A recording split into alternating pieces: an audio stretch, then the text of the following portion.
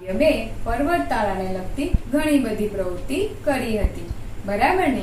અને એ પ્રવૃત્તિને લગતી એક યાદી મેં તમને તૈયાર કરવા માટે આપી હતી. આશા છે કે તમારી યાદી તૈયાર થઈ ગઈ હશે. હવે આજે આપણે આ કાવ્ય પર્વતતારાને લગતી કેટલીક શબ્દ રમતો જોઈશું.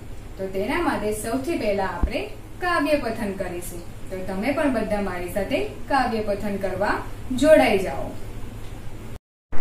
પર્વત તારા પહોળા ખંભા, સરવર ટાળી આંખ. હે ઈશ્વર, હું તને જોઉં છું, ક્યાંક ક્યાંક ને ક્યાંક.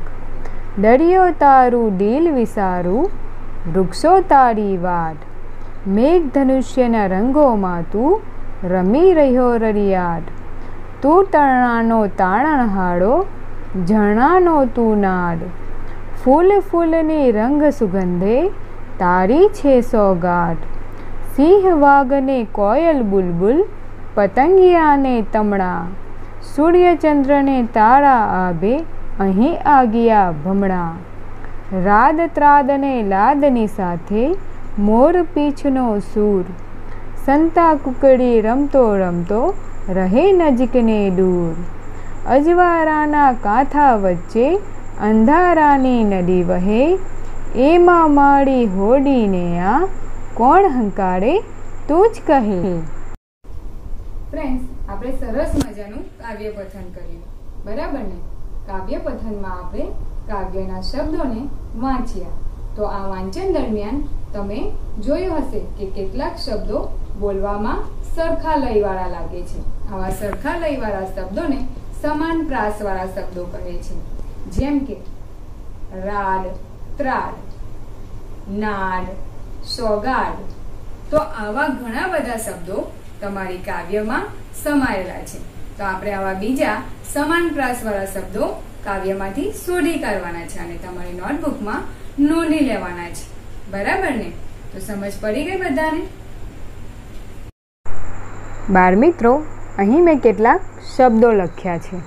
આ શબ્દોના સમાનાર્થી શબ્દ આપણે કાવ્યમાંથી શોધી કાઢવાના છે. એટલે કે આ શબ્દો માટે કાવ્યમાં જે શબ્દો વાપરવામાં આવ્યા છે, તે અહીં લખવાના છે. જેમ કે પહાડ. પહાડ માટે કાવ્યમાં કયો શબ્દ વાપરવામાં આવ્યો છે? હા, પર્વત. તેવી જ રીતે નેત્ર. નેત્ર માટે કયો શબ્દ વાપરવામાં આવ્યો છે? આંખ. તો એવી જ રીતના બીજા જે શબ્દો લખ્યા છે, એ શબ્દોના સમાનાર્થી શબ્દ આપણે કાવ્યમાંથી શોધીને નોંધવાના છે.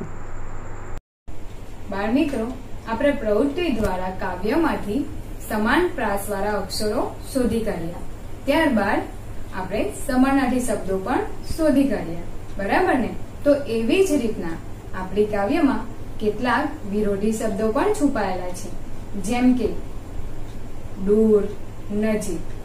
તો સંતા કુકડી રમતા રમતા રહે નજીક ને દૂર.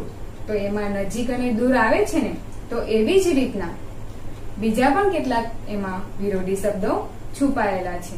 તો તમારે આવા વિરોધી શબ્દ કાવ્યમાંથી શોધી કાઢવાના છે.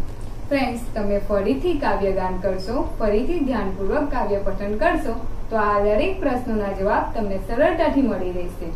તો આવી જ રીતના આપણે બીજી પણ ઘણી બધી પ્રવૃત્તિઓ કરતા રહીશું અને ફરીથી મળીશું આવતા અંકમાં. ત્યાં સુધી બધાને આવજો.